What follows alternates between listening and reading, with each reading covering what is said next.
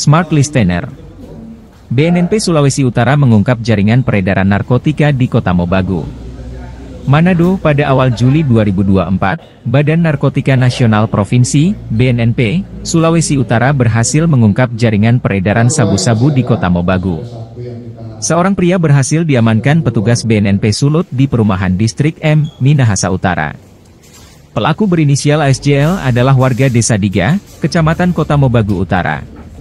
Kepala BNNP Sulut, Brigjen Pol Pitra Ratulangi, menjelaskan bahwa penangkapan terhadap pelaku berhasil menyita barang bukti berupa 103 gram ganja bersih.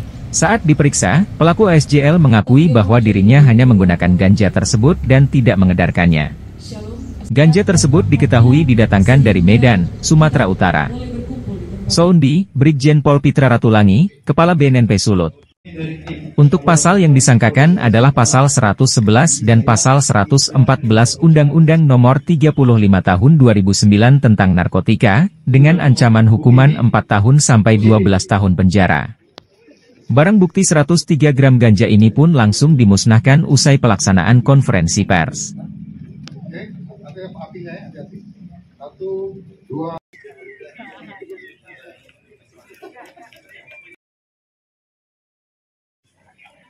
Diundang kepada penasehat hukum tersangka untuk kira kita menangkap satu tersangka berinisial ASGL dia adalah warga Kota Mobagu ya, Kota Utara, tepatnya di Desa Diga, di mana penangkapan ini terjadi di Rum Distrik M di Kalawat, Minasa Utara.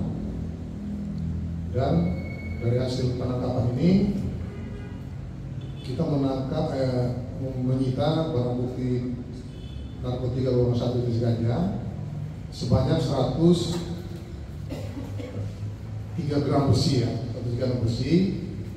Kemudian akan kita musnahkan ini adalah sebanyak 98,52 G. Kenapa dia berkurang? Karena ada beberapa kita sisihkan untuk yang pertama pembuktian di pengadilan persidangan itu seberat 3,61 G. Kemudian penyisian kita dalam pemeriksaan e, narkotika ini dilapor Polda Sulut yaitu